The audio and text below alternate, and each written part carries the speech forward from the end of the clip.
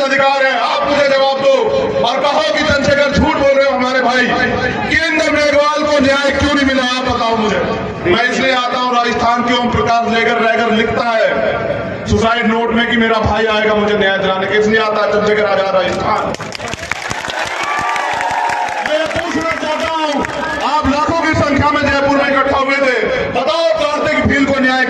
मुझे बताओ, मैं जानना चाहता हूँ आपसे। मेरे लोगों उन्होंने रुपया पैसा तुम्हें करोड़ों रुपए से भी ताकतवर वोट का अधिकार दिया। तुम चाहो तो यहाँ के मुख्यमंत्री को हरा के उसकी नाक रगड़वा सकते हो अगर तुम चाहो।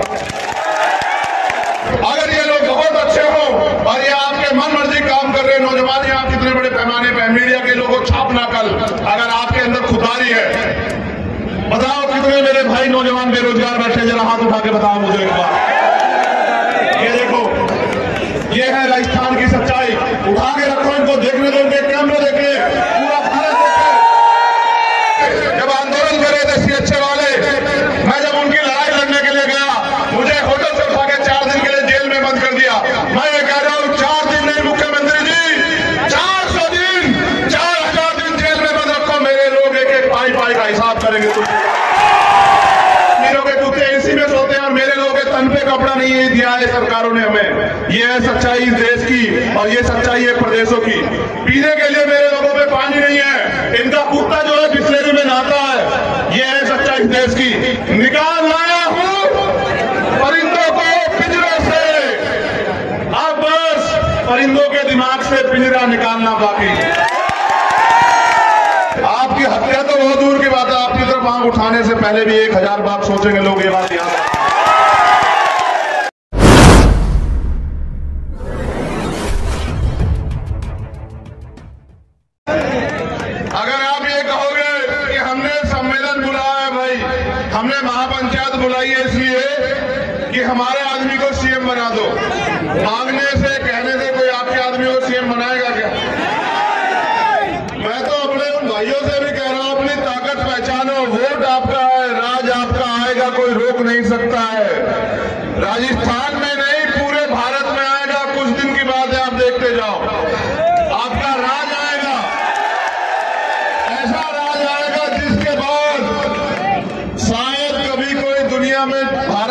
चुनाव लड़ने की इच्छा ही ना करे।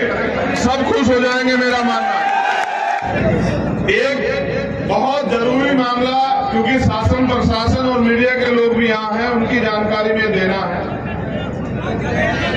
कि कल वो इस बात को ज़रूर लिखे कि भाई पृथ्वीराज बैरवा जी को क्यों आरएएस में सिलेक्शन होने के बाद उनको टर्मिनेट किया गया, नियुक्ति क्यों नहीं दी जा रही है? सरकार इस बात का जवाब दे। भाई, डॉक्टर प्रोफेसर रमेश बैरवा जी को क्यों एपीओ किया गया है? सरकार इसका जवाब दे।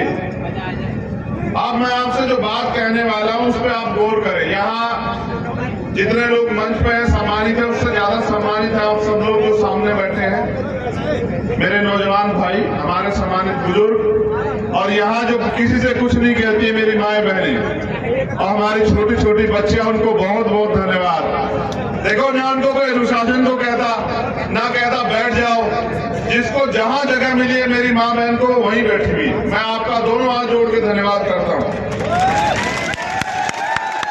जो धैर्य मात्र शक्ति में है, वो कुदरत ने दुनिया में किसी को नहीं बख्शा। जीव को जो दुनिया में अगर सबसे ज़्यादा धैर्य किसी को दिया वो हमारी मातृ शक्ति को दिया हमारी बहनों माओ को दिया अपने बच्चों को दिया। बहुत बहुत धन्यवाद आपका। सामान्य साथियों हम गंगापुर में हैं। लेकिन पता नहीं हमारे अधिकारों की गंगा कब आएगी।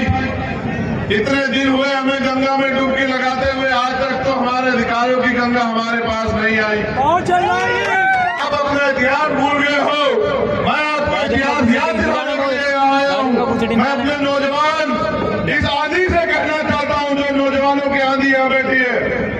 तुम में वो दम है कि बड़े से बड़े ताज़ा शाह का तख्ता पलट कर दो। तुम में वो दम है कि बंजर की मिट्टी को उपजाऊ बना दो।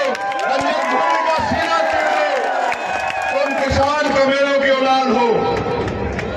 अगर जानना हो तो 50 साल पहले का अपना इतिहास जानो। बहुत बढ़िया। क्या निभा रहे हो तुम? कि तुम्हारे पूर्वज ने इस देश में क्या क्या नहीं शासकों बात करते हैं। आपको बताने आया हूँ कि गलती कहाँ हो रही है। आप मुझसे प्यार करते हैं।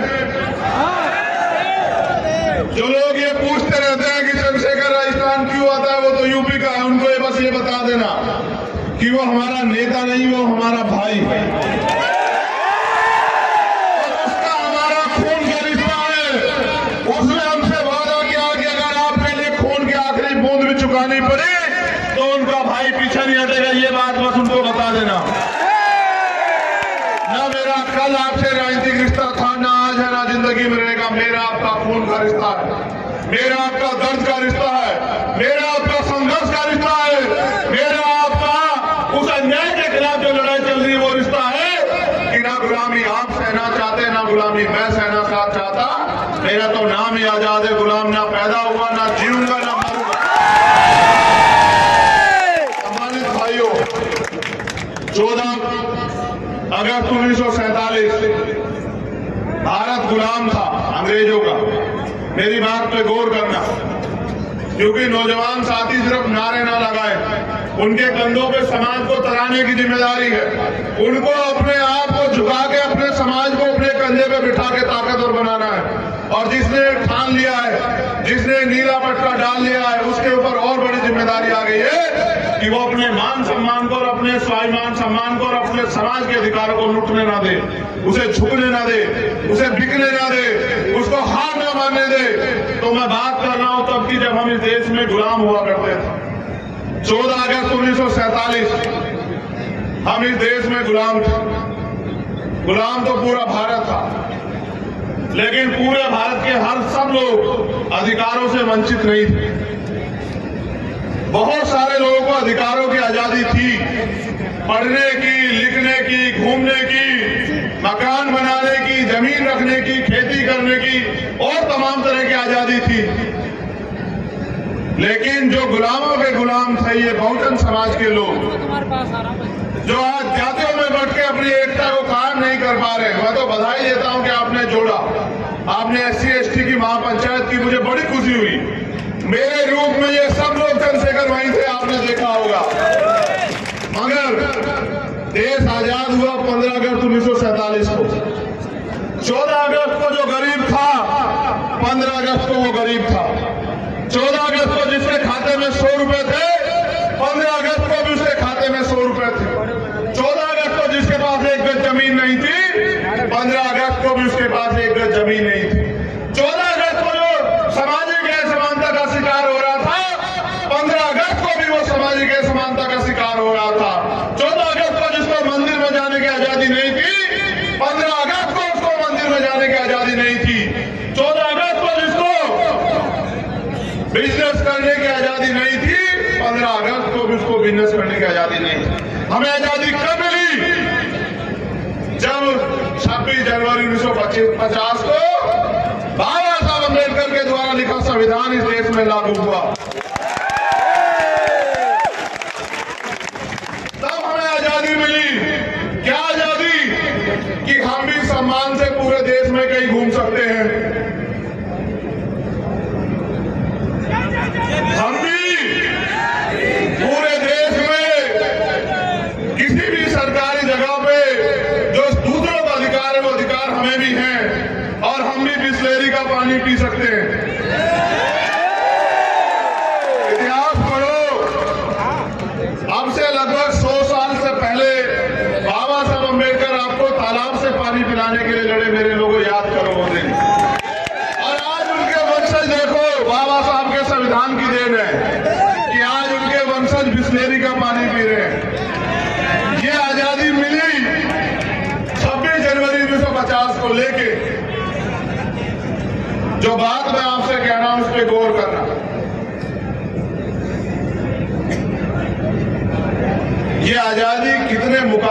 पहुँच पाए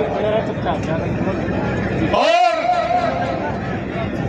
कितने अधिकारों के लिए आपको संघर्ष करना पड़ा, लड़ना पड़ा, आंदोलन करने पड़े, लाठियाँ खानी पड़ी, मुसीबतें झेलनी पड़ी? जैसा मैंने आपको बताया कि 26 जनवरी 1950 को आज़ादी संविधान के ज़रिए मिली, लेकिन संविधान के साथ ये शर्त रखी गई जो अंतरिम सरकार बनी। पंडित जवाहरलाल नेहरू के नेतृत्व में बिना चुनाव लड़े।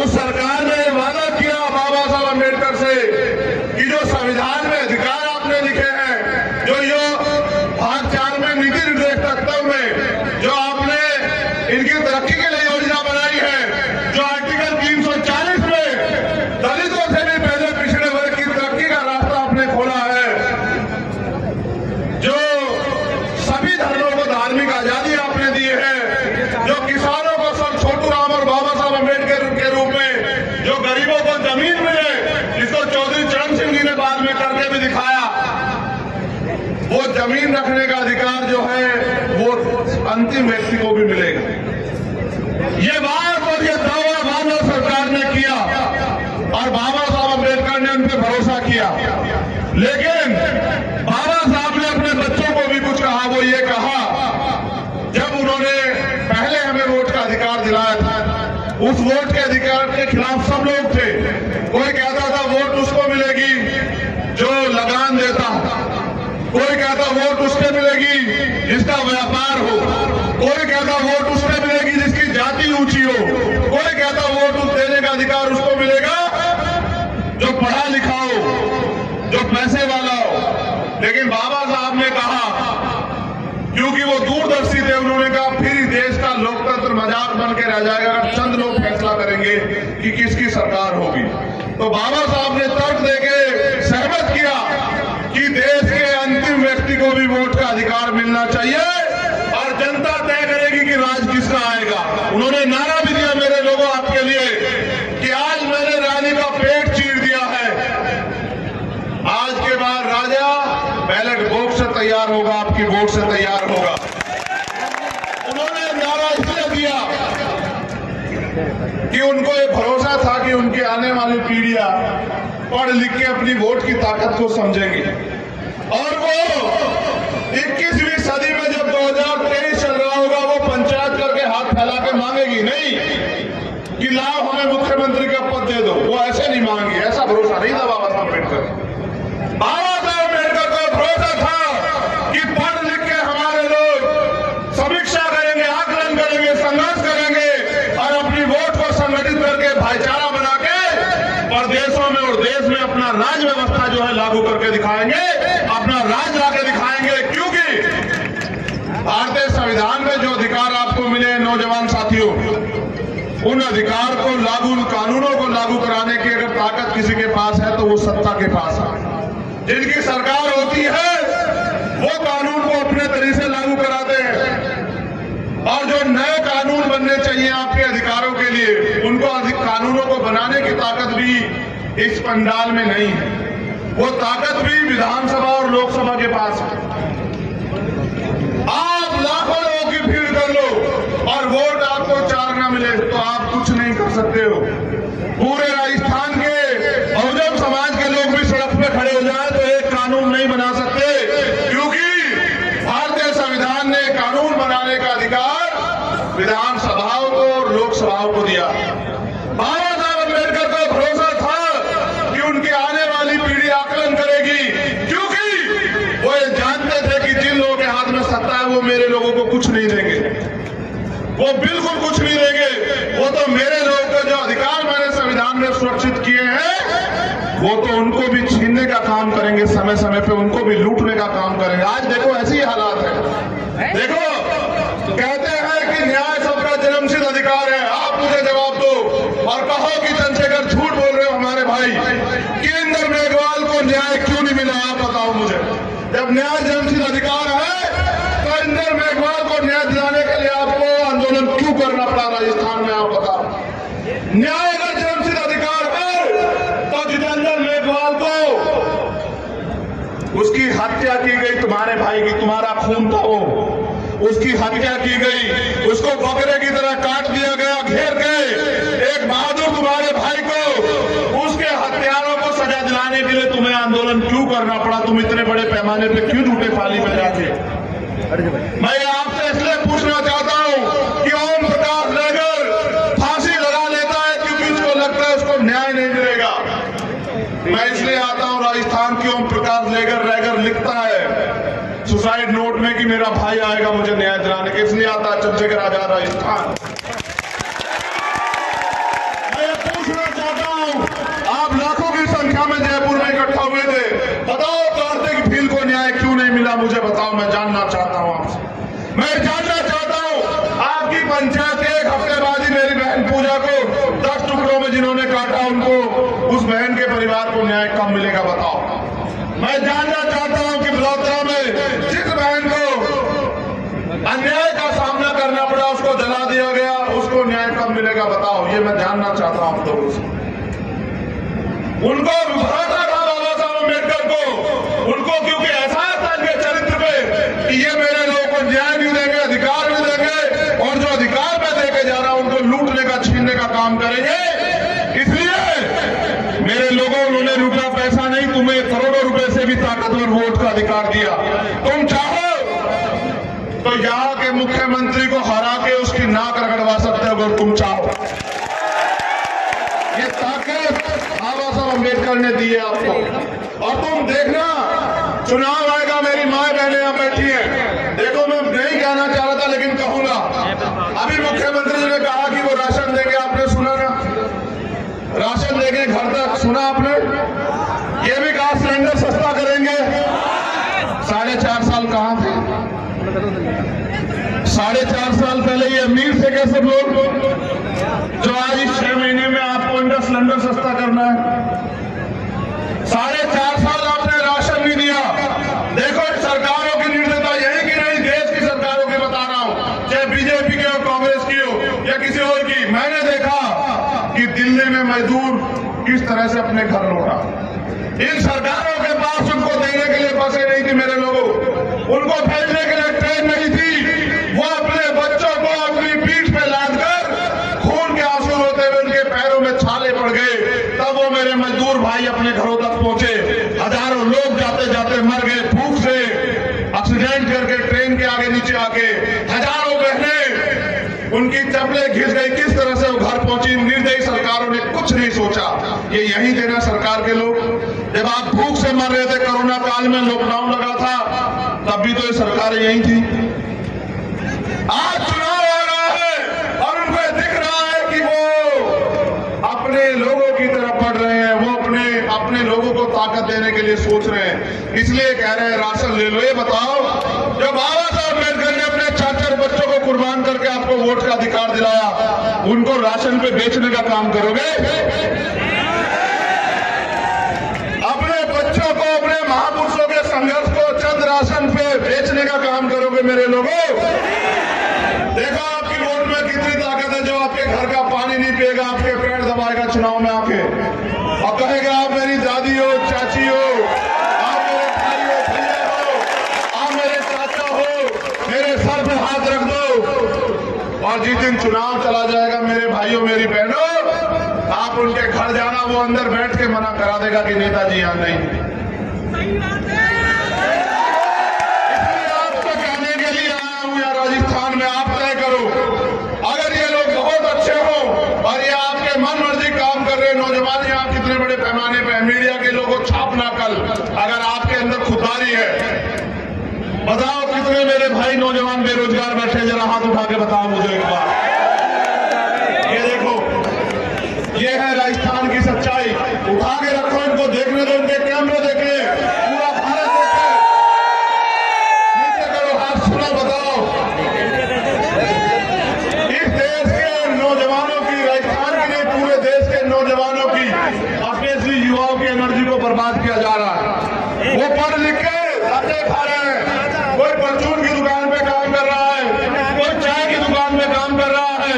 कोई कहीं मजदूरी कर रहा है, क्योंकि सरकार के पास रोज़गार नहीं है। और यहाँ की सरकार इस सरकार की भी सुनो, यहाँ की सरकार कोई भर्ती ऐसी नहीं जिसका पेपर लीक नहीं होता कोई भर्ती ऐसी नहीं साढ़े चार साल नहीं दिखा जब हमने कहना शुरू किया मुख्यमंत्री जी कानून व्यवस्था इतनी अच्छी हो पेपर कैसे कागज़ तो नहीं संभाल सकते मैंने ही कहा ना उन्हीं में महँगा में कि कागज़ नहीं संभालते मेरे लोगों की रक्षा कैसे करोगे तो कहते हैं कि हम जो नकल करा रहे हैं इनमें बुलडोजर चला दोगे साढ़े चार साल कहाँ थे आप कितनी भर्तियाँ गिनाऊं आपको सीएचए के बच्चे जब आंदोलन कर रहे थे सीएचए वाले मैं जब उनकी लड़ाई लड़ने के लिए गया मुझे होटल से उठा के चार दिन के लिए जेल में बंद कर दिया मैं ये कह रहा हूँ चार दिन नहीं मुख्यमंत्री जी चार सौ दिन चार हज़ार दिन जेल में बंद रखो मेरे लोग एक एक पाई पाई का हिसाब करेंगे तुम ये तब तक आपके भरोसे थे जब तक इन पे किराए का मकान था आज इन पे अपना घर है महापुरुष कह के गए हैं कि लोगों के महलों से अच्छी होती है अपनी झोपड़ी अपनी झोपड़ी में हम मालिक होते हो उनके दरवाजे जाओगे उनके पीछे खड़े होंगे उनके पिछलक्कू बनोगे उनका राज लोगे तो आपके हाथों में आपके हिस्से में क्या आएगा सोच लेना मैंने ये भी कहा और फिर कह रहा हूँ साहब कहा करते थे कि जब वोट फूल वालों को दोगे तो फूल वालों की सरकार आएगी। जब फूल वालों की सरकार आएगी तो वो अपने लोगों को ताकतवर बनाएँगे, रोज़गार देंगे, काम देंगे। आपके हिस्से में क्या आएगा? जब वोट पंजे वालों को दोगे तो पंजे वालों की सरकार आएगी। पंजे वाले ताकतवर होंगे, पंजे वाले अपने लोगों को रोज़गार देंगे, अधिकार देंगे। आपके हिस्से में क्या आएगा? अब मैं आपको बताता हूँ। आप अपने वालों को वोट दोगे। तो मैंने पहले भी कहा कि मांग पत्र बना के दे दो। जितने लोग यहाँ बैठे अमूर, अमीरों के कुत्ते एसी में सोते हैं और मेरे लोगों के तन पे कपड़ा नहीं दिया है सरकारों ने हमें। ये है सच्चाई इस देश की और ये सच्चाई है प्रदेशों की। पीने के लिए मेरे लोगों पे पानी नहीं है। इनका कुत्ता जो है बिस्लेरी में नहाता है। ये है सच्चाई इस देश की। लेकिन आप इनके बातों में आ जाते हो और फिर इनको ताकतवर बना देते हो। मेरे पिताजी कहा करते थे कि अजमाए हुए को अजमाना नहीं चाहिए। जिनको अजमा चुके और अजमा के देख चुके कि मैंने वहाँ कहा भादरा में, कि अगर आप गलती कर बैठते हो, मैं गंगापुर सिटी में भी कह रहा हूँ तो पाँच साल जो खाल उतरेगी हमारे लोगों की जो अन्याय सहना पड़ेगा हमारे लोगों को जो रेप हत्याएँ होगी जो पूजा भील को टुकड़ों में काटा जाएगा उसके जिम्मेदार आप भी होंगे इस बात को आप लोग याद रखना क्योंकि आपकी गलती आपकी लापरवाही क्योंकि वोट का अधिकार आपको बिकने के लिए नहीं मिला वोट का अधिकार आपको गुलामी से मुक्ति के लिए मिला है। वोट का अधिकार आपको ताकतवर बनने के लिए मिला है। अगर आप अपनी वोट का प्रयोग गलत कर देते हो तो जो अन्याय होगा उसका खामियाजा अपना आपको भुगतना पड़ेगा, उसके जिम्मेदार भी आप होंगे। दूसरा, काशीराम साहब ये कहते थे कि वोट की रक्षा कैसे करनी है? जैसे बहन बेटे की रक्षा करते हैं। तो आपकी वोट इतनी सस्ती नहीं मेरे लोगों, कि थोड़े से पैसे, शराब या राशन में किसी को दे दो। ये तो सरकारों को देना ही है। आप वोट अपनी ताकत बनाने के लिए दो। मैंने अभी चार दिन पहले दो लाइनें लिखी थी, आपने अगर पढ़ी हो मेरे ट्विटर हैंडल पे। राजेश, अगर पढ़ी हो। मैंने लिखा था कि निकाल लाया हूँ परिंदों को पिंजरों से निकाल लाया हूँ परिंदों को पिंजरों से अब बस परिंदों के दिमाग से पिंजरा निकालना बाकी।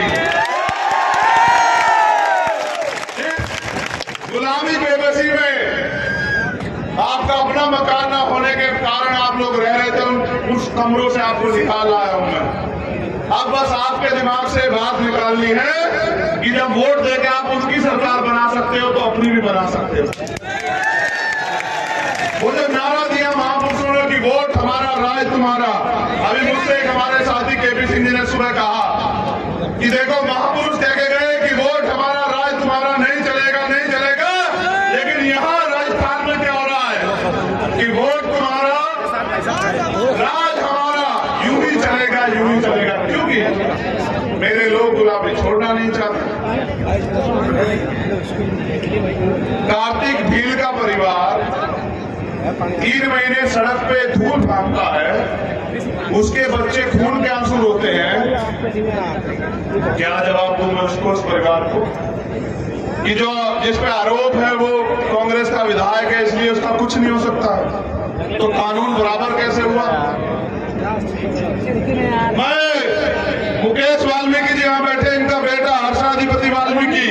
एक आपका अपना, खून आपका भाई अधिकारी। उसको एक विधायक जाके पीटता है बाईस जगह से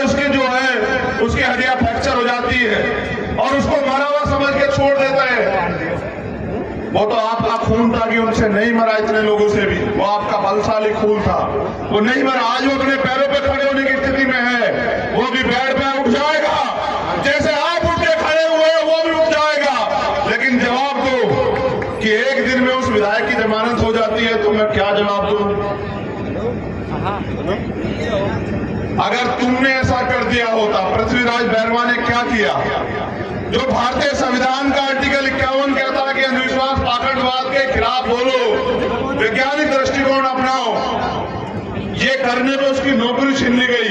और हमारे भाई की हत्या करने के प्रयास करने वाले पे एक दिन में जमानत। तो कानून किसके लिए बराबर हुआ? देखो, मैं तो आपसे कहना चाहता अगर आपको एक गुलामी की ज़िंदगी पसंद आ रही है मेरे लोगों, सच्चे मन से कह रहा हूँ तो फिर कोई ज़रूरत नहीं इसको बदलने की। और अगर आपके अंदर ये बेचैनी झटपटाहट हो कि यार हम सबको अजमा के देख चुके हमने सब पे भरोसा किया, कोई कुछ करता तो है नहीं हमारे लिए।